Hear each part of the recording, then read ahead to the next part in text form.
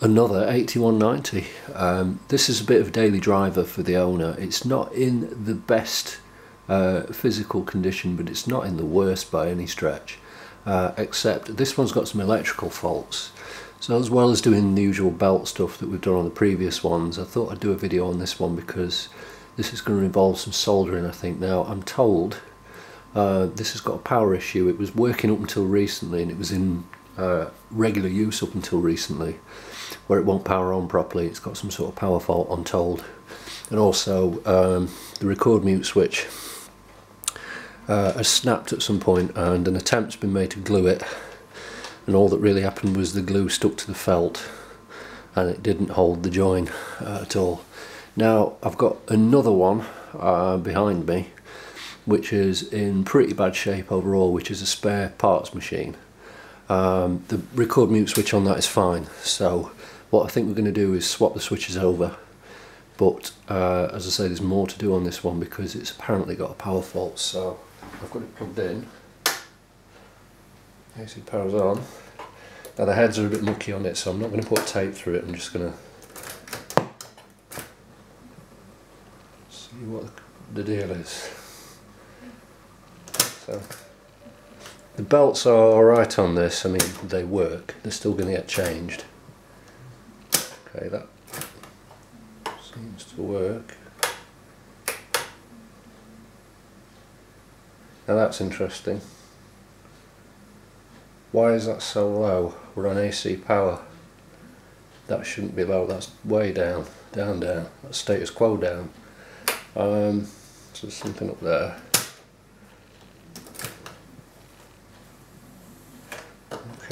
Try radio. Yeah, it's down even more.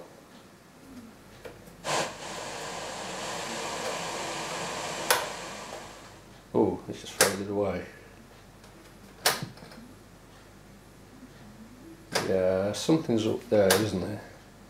Look how weak that is to come on. Lost audio. Hmm, okay, so either we've got a supply or demand issue. um, either um, something's gone wrong in the circuit at the back by the transformer so it's not supplying enough or there's something pulling the supply down. So we'll have a look at this. I think we'll do some measurements and um, run it from the current limited bench supply as well. We'll be able to tell from there if it's drawing more than it should be and we'll disconnect the power and meter the output from the transformer circuit separately see what's going on. I noticed when I turned it over that there was a rattle. So something moving that screw's also pretty loose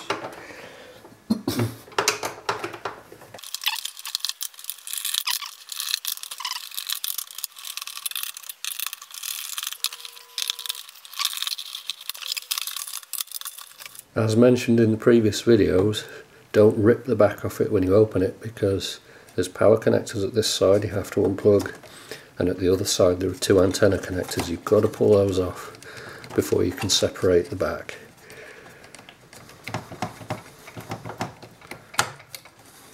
I've found the rattle. It was a piece of what's probably the uh, front perspex on the dial.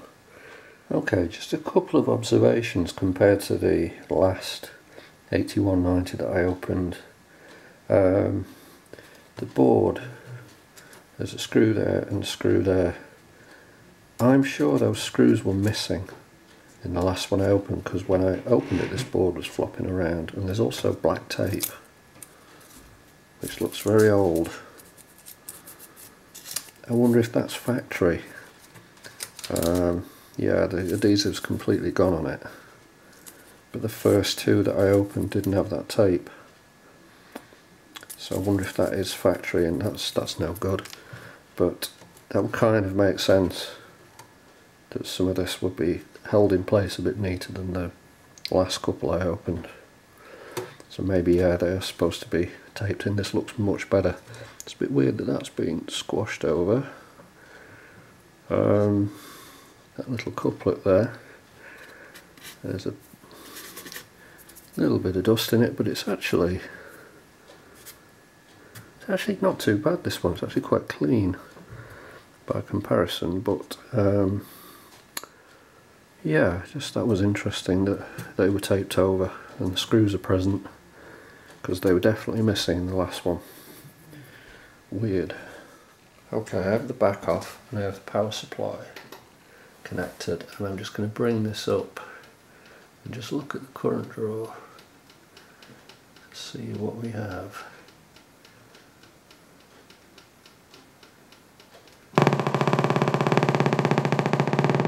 That's right at the crossing point where it powers on. So it's 7.2 volts. 9 volts.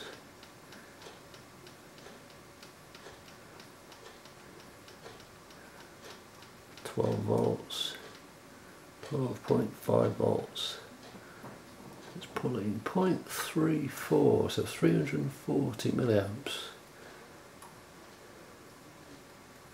And still showing it's down a bit on the meter. So, I think now I'll measure the back. Uh, I'll measure the back uh, power supply in the other half of it, see what's going on. Because yeah, looking at the circuit, the voltage regulation is done by a Zener diode that's at the base of a power transistor, and we should be able to measure 13.5 volts at the uh, the base of that uh, Zener, at the base of that transistor, which comes off the Zener diode and if I put the power on at 13.5 volts it's a little bit low. I've actually tried it earlier and it was lower still but it's like it's slowly coming up. So this could be something really simple. I think there's a bit of resistance somewhere. Um, it could be something really simple like a little bit of muck in the switch. So I'm going to clean out the function switch. I've just knocked that. I'm going to clean out the function switch and uh, just see if that does anything. Hmm, that has sort of slowly come up as I've been trying it. It was about 11 volts earlier, there's still some kind of resistance I think across there. Um, possibility of a capacitor that's going high ESR. Um, they are kind of right in the firing line of the um, heatsink under here. Unfortunately this heatsink makes them really difficult to uh, be able to get to but we'll keep looking at it see where we get now even after cleaning we've definitely got some issues because I'm getting really erratic voltages now. Uh, we're down to sort of 10 volts and if I wiggle something like the band switch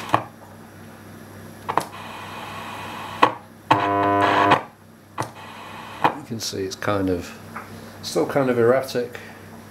So we've definitely got something wrong across that power supply after cleaning um, the band switch, the function switch and the little micro switch on the top here and then leaving this a while um, I'm now getting much more consistent voltages. That's when I switch it to aux mode or phono input. When I switch it back to radio. When I switch it to tape um, the voltage will drop off unless the motor switch is closed but it's much more consistently coming back to around 1331 1332 I was getting 8 volts 9 volts 11 volts. It was different every time I moved the switch. And I always find in switches with this um, DeoxIT stuff one try not to get it everywhere and two when you sprayed it and wiggled the switch a bit leave it a while. Um, it seems to soak in over a period of time, make its way to the contacts, because without dismantling the switch completely, you can't always totally get to them, especially in case of a micro switch. But I'm getting way more consistent voltages. So I, I also notice as well when I metered across the contacts of this micro switch, uh, we have a 13.5 input from the power supply and at the um, output side I was seeing 12.5 at, times so somewhere I was losing a volt across the switch. So I do wonder if there had been some resistance in the contacts in this switch. This is coming off the Zener diode again which is at the base of that power transistor. But it seemed like the whole voltage coming in through this micro switch was all over the place. And now it seems really consistent. I, I think it's going to be one of those things I have to leave it for a while and then come back to it when it's cold and just see that it works exactly the same. It works flawlessly without being on for a while and then I can leave it on for a while and it, it's okay. You can hear the hiss of the radio because I've reconnected the speakers, just detuned, but the whole the voltage was dropping enough that the amp was dropping down and then the, the radio was cutting off so similar to what was happening with the band switch um, when we were running that before so um, that's still a little bit scratchy. So we could also have issue in that band switch. Might give that another blast with the stuff. But um, way more consistent now so it could have been something as boring as switches but with it being a temperamental fault I'll just have to leave it for a little while keep coming back to it and make sure I get the same stable reading that I'm getting there. Did I say 13.5 or 13.8 volts at the Zener diode earlier on? I'm not sure. Just look back at the uh, service manual again on the, the diagram and it's 13.3 volts. So that is bang on correct. Um, it could also be um, because I've obviously sprayed it with cleaner the thing is laid on its face so the board is laid flat. So again when you spray the cleaner stuff in the cleaner's got gravity to help it slowly weep through the, uh, the connectors and everything. And um, now the voltage has again seem really stable so um, that might have something to do with it but it definitely seems like there was some resistance around this input. Um, nothing pulling it down at all. So we'll leave it as I said and see how it was but that is actually bang on correct real quick because I haven't got a lot of time today it's the next day we're going to see if this gives us 13.3 volts on that Zener diode I'm going to put the power on. So that's power supply at 13.5 I'm going to switch it to the radio. 13.3 volts and that's definitely worked. Let's see what it's going to take then to get this switch out. So as on all the other ones there's a few things we need to disconnect and undo. A few cable retainers.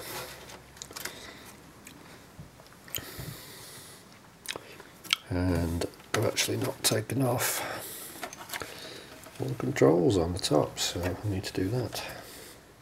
So I've separated the main unit sub chassis from the front panel and I'm going to have to take all these stems off these switch covers I should say from off the stems and see what's uh, what we've got here. So when you pull these up try and pull them straight up. Some of them are a bit loose.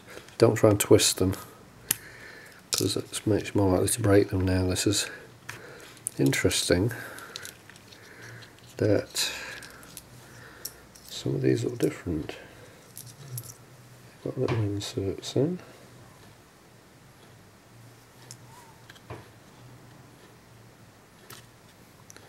Ah, okay, so there seems to be some sort of little rubber insert that's on some of them that's sticking in some of the uh, switch tops and coming out of others. Interesting, that's a bit different to the ones we had before. So try and figure out which of them will and won't fit on each one. Okay. And I think with this bit of cardboard shielding uh, underneath this uh, felt and I think we have to remove the one on the loudness switch And there we go then we can peel that back that's actually held on on a little heat stake piece of plastic on the end so it's just going to have to flop over the side but that's okay. And this piece of cardboard shielding. How are you fixed on? With a brown ground wire down at the front that's underneath the playback gain pots and it's marked BRN for brown that and then just glued it's glued to the tops. Um, that's a little bit awkward. Very carefully. Try and separate that so it will. I managed to very carefully get that um, cardboard off there. There is a little bit that ripped but it's not the end of the world. It is sort of just glued. You can see where it's tacked on, even on top of a capacitor apparently. Um, it's kind of sticky on the back, or maybe it has some kind of adhesive. Maybe they sort of heat it up. It's a little bit weird, um, but there's nothing that won't repair and go back on there. That's fine. So it's just a just shield basically. Um, so we've got to take three screws out. I have a concern that um, this blue wire going to this bulb here is going to be a bit of an issue because the bulb is of course glued in. And the glue is pretty good on this one so I can't get that bulb out.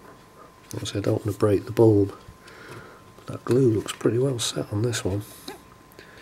Um, I can, I can possibly loosen them from the other side goes through those little teeth there. So might be able to get just enough clearance just to be able to turn this board around so we need to be able to get the switch off. So let's take three screws out and see where that gets us.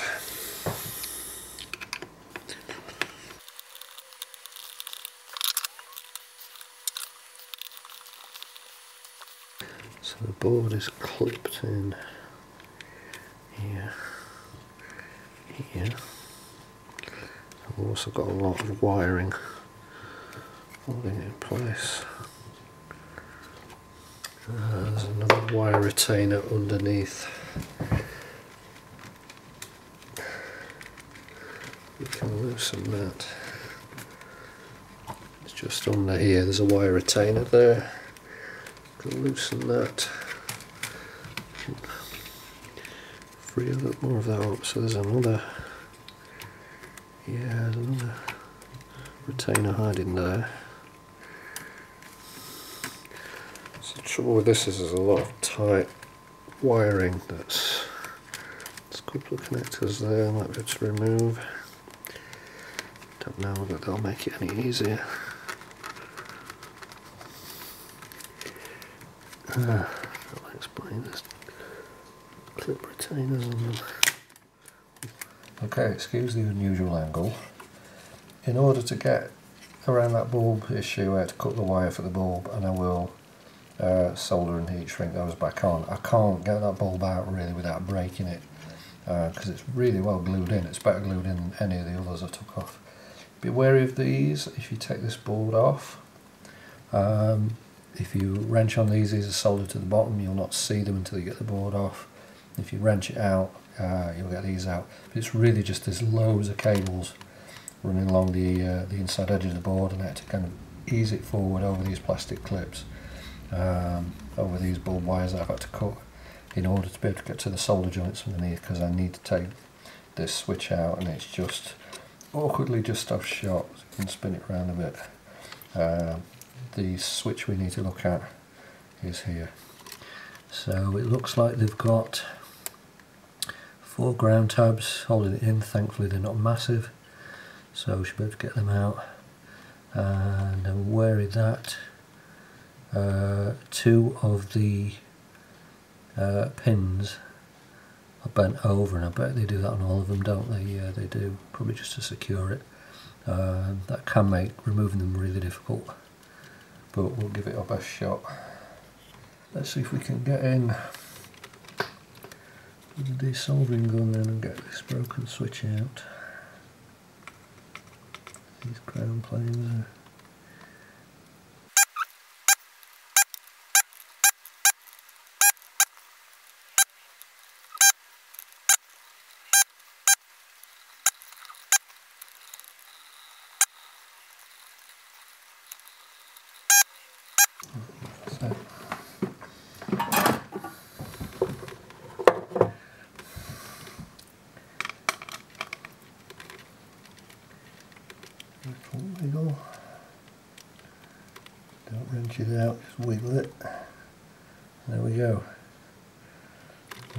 switch out and no damaged or lifted pads.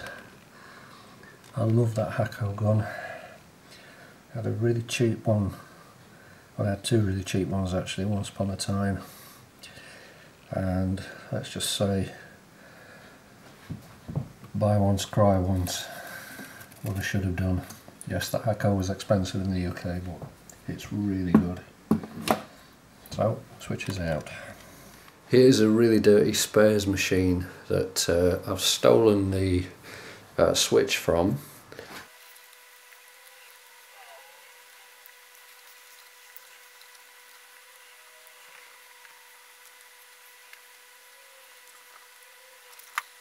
Alright, so we've nicked this switch out of the donor unit. Now to be careful to get it on the right way because the toggle's got to push that direction um, the screen print on the board is actually upside down so you have to be wary of that. Don't follow the screen print thinking you've got to pull it this way because uh, everything mounts that way.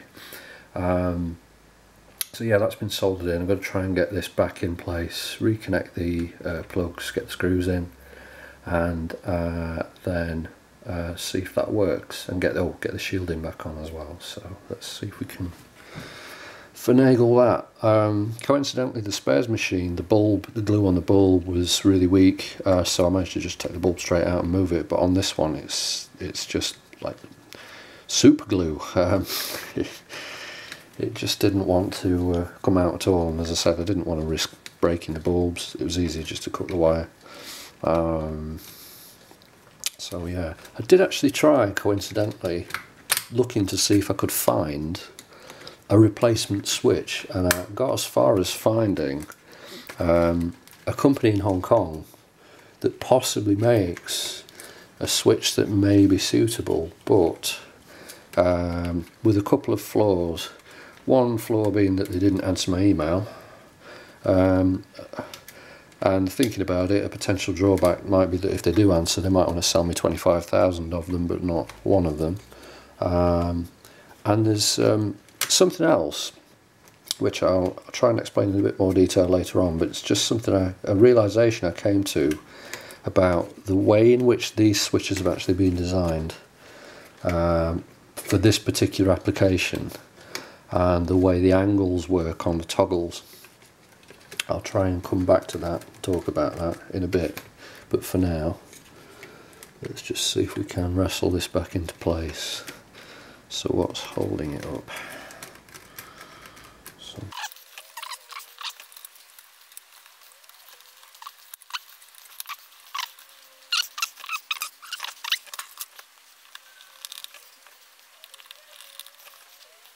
Another thing I thought about with the glue on that bulb is I could have either used heat or um, alcohol potentially to uh, soften that glue but again there's something I'm wary of. One is that the tuning dial's in the way and if we um, compromise or just break the tuning dial we've kind of had it uh, the dial cord I should say and the other is that of course the actual dial face is, is on the back of this. So again, if I have alcohol or molten glue dripping down it, then I'm going to ruin the dial face. So it's just uh, a bit too close for comfort really. It's just way easier just to rejoin these wires. There's just enough slack on them to be able to do that without fuss.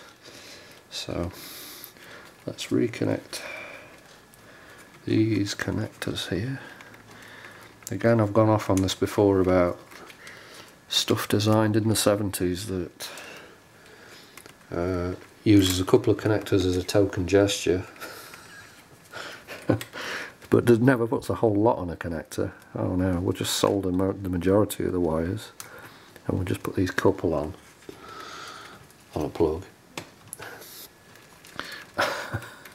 You wonder why what was the point right there pushed right in so now we'll try and sort of get the majority of this back in where it was and there are those two wire retainers we'll have to tidy the wires back into. Make sure they don't get trapped And the back goes back on. Lovely. So what I was saying about these switches, um, obviously the problem with this one is the little stem that sticks off the top on this plastic rocker part has snapped off. And if you notice the top of that rocker is parallel with the top of the switch. Now, although this is a two position switch, I'm doing my best to keep this in focus, although this is a two position switch, if you look at the data sheets for this style of switch and you look at the two position version, what you'll notice is that the um, angle of travel in, in each position is 60 degrees apart, kind of like this. And on a three position switch, you've got one like this, one straight up, and one like this to the right. So you've got 30 degrees of difference with one straight in the middle. In order to get a two position switch with a resting position in the middle, you effectively have to take a three position switch and modify it so that it can't move in one direction but it can in the other. So to source a replacement for this switch there's every chance that what I have to do is find a three position and use the rocker and the shell from the three position and then a little bit like those pots I've been doing on the the other boombox you'd probably have to undo these little metal wings of the shell pull the guts out of the switch and swap over the locking mechanism because this is actually a slide switch and a little um, rocker on top. Just moves a sliding mechanism. For all intents and purposes this is a slide switch so you'd probably have to cobble a bit of a Frankenstein switch together with pieces of the broken one and the shell and the rocker from the uh, the toggle, you know, from uh, the old one. That would be all well and good if I could get one. Uh, as I say, I have seen them on this um, Hong Kong company's website. They do make them, but I don't know if they're currently available. They probably won't sell me one of them. So, unfortunately, for now, we've had to um, put the uh, take this from um, a scrap 8190 uh, will take the new switch, should I say, um, in order to do it. But if a switch does turn up, we can always uh, replace that in the one that we've stolen it from. Um, but for now, yeah, unfortunately, one's had to uh, had to die more or less for uh, the other to live. shrunk now.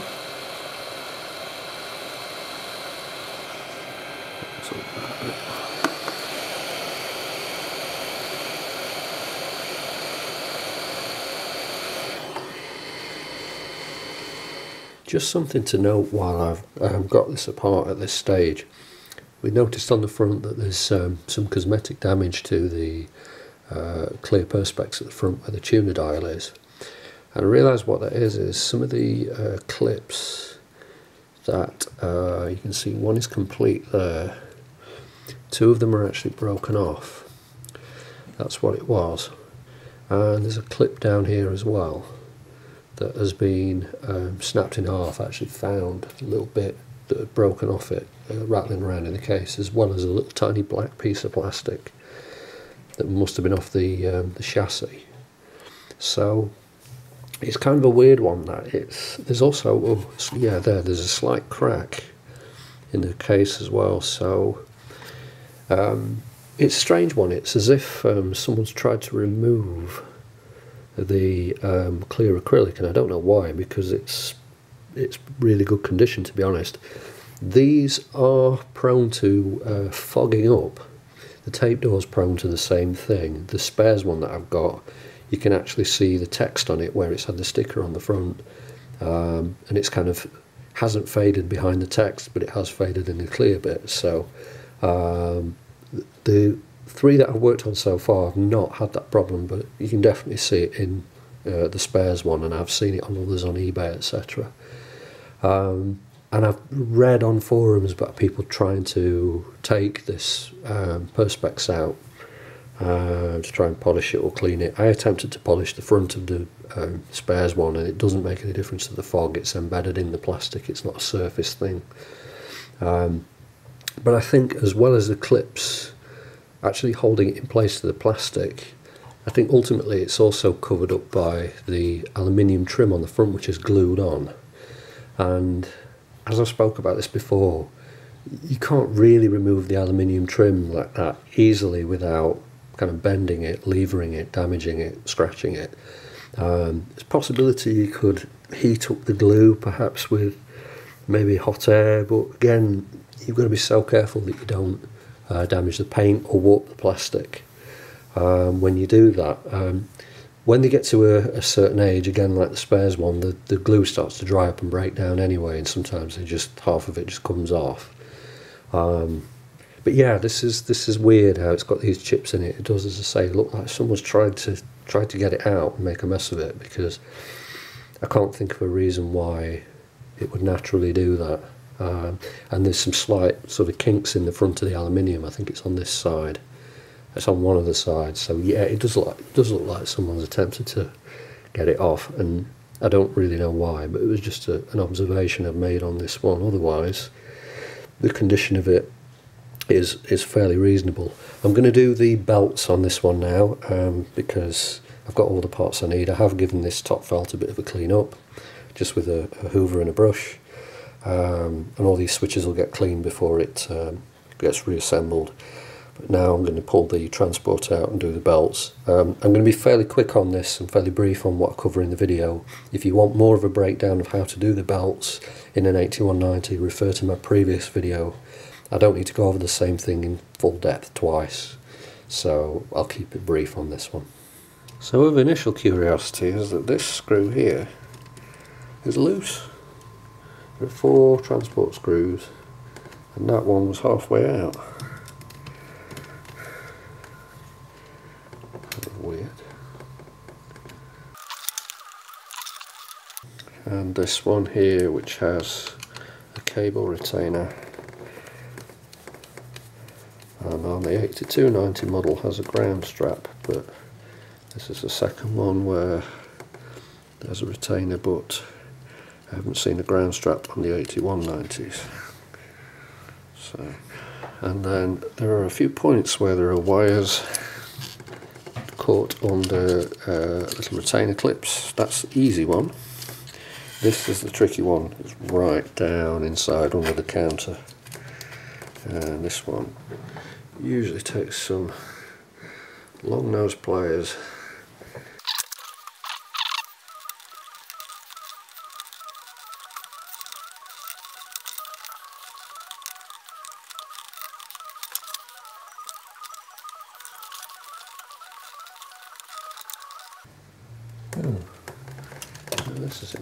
interesting. I think there's an extra ground wire connected to the bottom board. I don't recall that one being there on the last one I worked on. Um, is that what I think it is? Uh, I don't know if it is a ground wire. Is it just one of the wires? Okay, I'm not sure what I did differently on the previous one but there's some wires that go to the leaf switchboard at the bottom that are caught somewhere. Unless is there a retainer. Sure, there go. I'm sure they weren't like that on the other model Okay, bit of a balancing act as it was before. I did manage to sort of adjust the root in that black wire, but this, I don't know why. It seems tighter on the this one than the last one I did. It may be worth if it makes it easier to actually um, remove this leaf switchboard um, that that black wire is connected to, and I think some of these wires possibly as well, um, just to give you a bit more leverage. But I'm in. Now these, I wonder if these have been done because these belts actually feel okay. Um, I'm going to suggest that they're probably replacements. Oh, that one's not though. Look at the kink in that one. I don't know if you can see that, but as it's going round, I wonder if the flywheel belt's been done before then. But that hasn't because that's got a right. In fact, the other belt as well. So the two square section belts have got kinks in them, so they're done. Um, but the flat belt actually feels fine. I'm going to replace it but um, thankfully on this one yeah let me spin this round a little bit so I can give you a better shot of the uh, layout so again I've covered this in more detail on the previous video but just for a quick recap on the 8190 there are two belts that go around the motor pulley because there are two pulleys stacked flat belt goes on top on the widest bit. Next one down is this winding belt, which is a small square section belt. It goes to the bottom section of the motor pulley. And then this belt connects to a smaller pulley underneath this one. Goes around the black one. So that's the lowest down. So both of them will come straight out. But the flat belt for the capstan you have to remove uh, one screw in the side and then there's a screw underneath here you loosen you don't have to completely remove it and it allows you just to pivot the bracket enough to open this gap up and get the flat belts in and out now I've actually removed that yeah it's probably a little bit dry if anything uh, definitely not melting like the others but yeah I think it's ready for replacing uh, so yeah we're going to do the lot Alright, all new belts are fitted. I forgot to get a shot of the back, but I mean it looks exactly the same of course. Um, but just to make a note of something, uh, whenever you change belts on something, uh, clean it, for God's sake, clean it. You'd think that, um, judging by the apparent state of those belts, you know, they weren't gooey, they were just a little bit dry, you'd think, well, not that much muck can come off them. I use um, isopropyl alcohol on all plastic parts and I use acetone on um, any steel or brass parts or aluminium I guess. Um, be very careful with acetone around plastics as always but you know look at the uh, look at the grime that came off there. Think that was mostly off the uh, the uh, flywheel, capstan flywheel and um, yeah um, give it a good clean and be careful not to get any twists in your belts try and get your twists out just to point out about belt condition, you see the kinks in those? Well, there's more kinks there than Ray Davies. Um, they're keeping that shape, so they are really dried out. Um, they still worked, but they were definitely ready for changing. So it's not always easy to tell when they're in situ that they are really ready for it, but they were definitely ready for it. Uh, these have been supplied by Deck Tech, again, not a sponsor, uh, but I've uh, been back and forth with these guys uh, on eBay to um, size up this full kit. We've got a full kit of five for the 8190. These are now available on their site. Uh, you can see where it's definitely worth doing all five and not just two or three like some kits for some reason seem to have.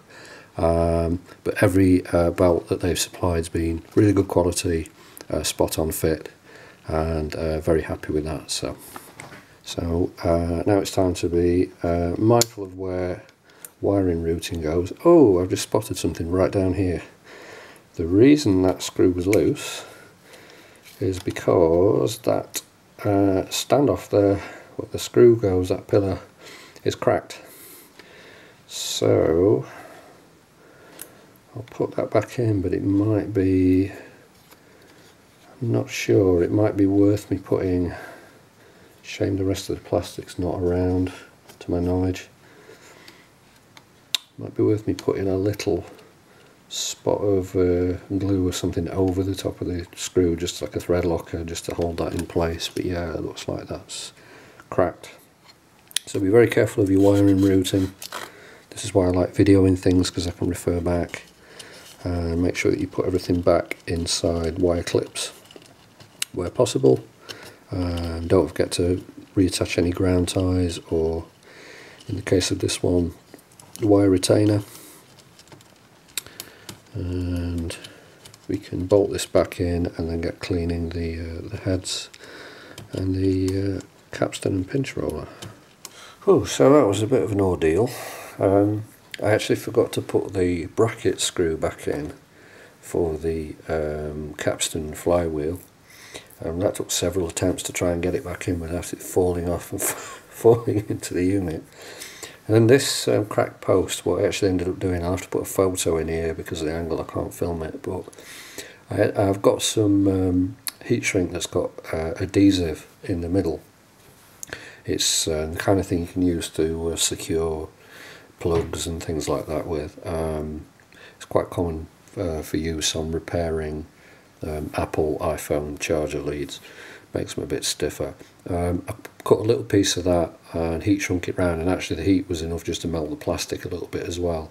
And then, because it was slightly deformed, I had to find a, a pointed uh, screw and this one's got a flange on it as well to use instead of the um, the old self tapper that had a flat point on it or flat bottom on it no point um, just to try and hold it in. It's it's I wouldn't call it like you know a weight a load bearing uh, fixing but with everything else the screw won't go anywhere. It will hold it in place at least um, it's the best repair I can really do uh, to that. So it's not super graceful but um, it's going to work. Everything else will hold it in place so it won't be going anywhere but it's better than the screw just flapping around. I did actually find all the pieces of the uh, the cracked post and was able to sort of secure it uh, with the heat shrink just to hold it around the outside. So that's that. So the transport's back in place.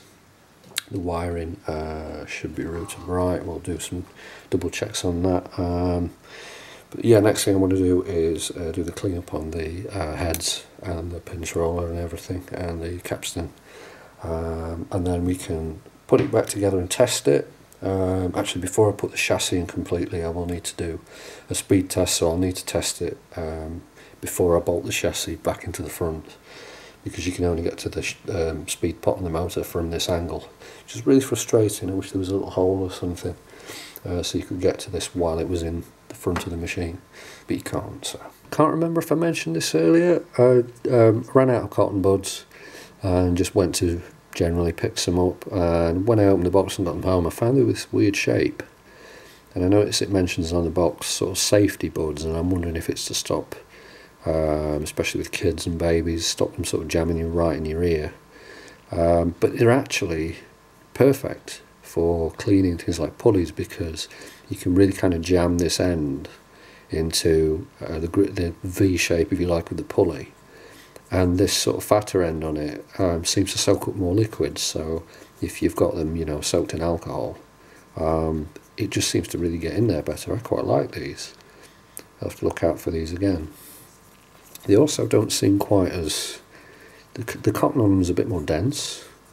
They don't seem quite as fluffy and linty as other ones before that I've generally bought, you know. So, uh, and these little green ones, these have got a kind of, they've got a kind of cloth on the end in a way. They're kind of lint-free cleaner, and they're flat.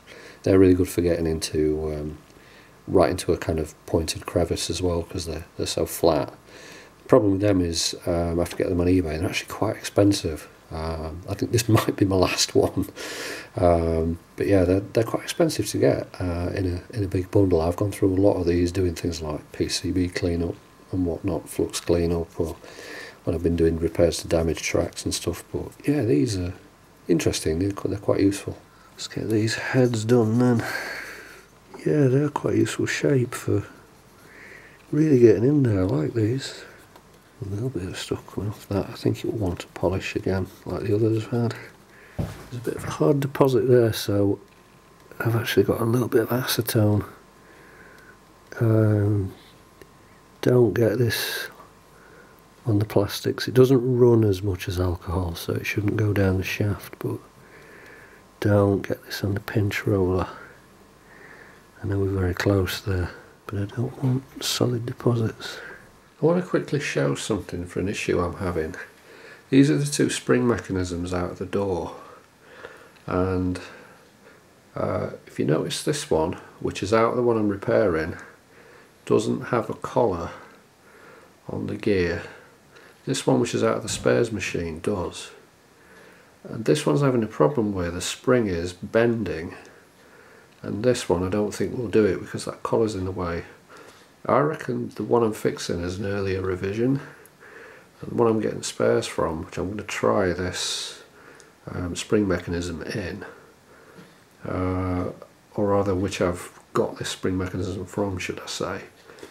I do think it's a bit later.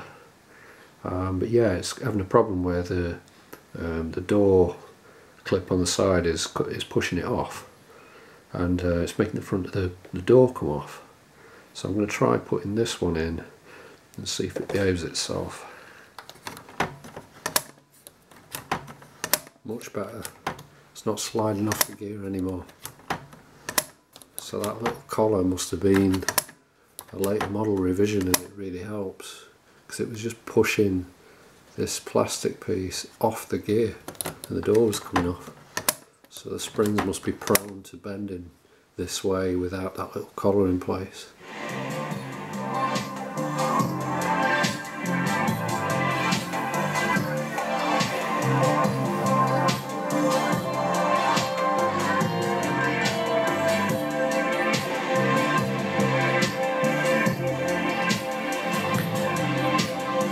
Another one down.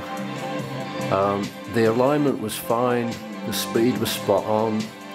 There's so much factory sealant over the alignment screw that I would have had a job picking it off to adjust the alignment anyway, but it's fine. This is the tape that was recorded on the first one that I did up, 8290. Dolby tracking, everything's fine. Sounds really great.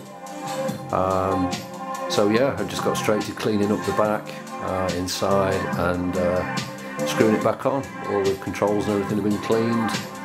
Uh, gone through and tested everything and it's, it's spot on. So uh, if you want a more in-depth um, look at these, definitely go back to the previous 8190 video. I just wanted to cover the main faults on this that were different to the others and make a slightly shorter video. Um, don't know if that really came out, but there you go. But yeah, one more down.